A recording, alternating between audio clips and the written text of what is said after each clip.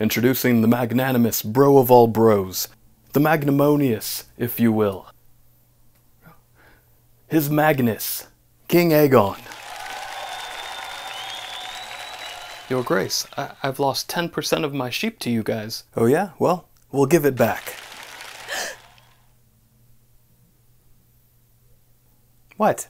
Your dragons will starve without the sheep.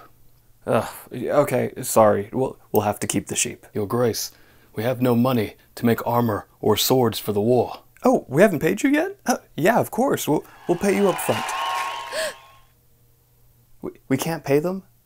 Really? Ugh, oh, man. Fine. Uh, sorry. I guess we can't pay you, so make the swords out of the bones of dead peasants. I hear there's a lot of those around. Can I just get a fist bump from your grace? Yeah, of course. Wait. I know this one. No.